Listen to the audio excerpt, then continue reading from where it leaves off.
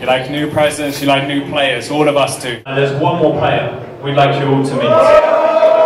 DJ, if we can get this on.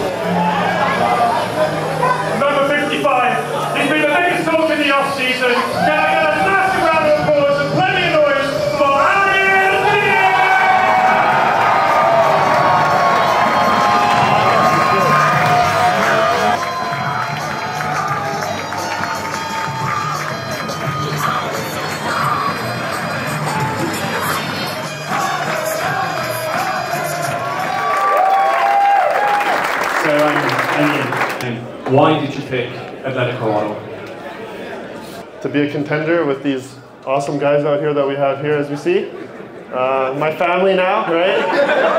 right? Um, I mean, I've known Manny for a while now, but uh, I still don't like him. But um, um, yeah, no, yeah, it's it's been interesting. And just to finish off, uh, a message to the Atleti, a message to the Atleti family. Pressure, totally.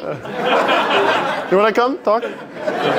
Um, honestly, short and simple. April 13th is, is is essentially it, right? It's the first game of the season. Let's go. I, I know we've been working hard behind the scenes, and and we're excited, just as you guys are, to come out and play, and hopefully, you know, first game of the season, three points. Let's go.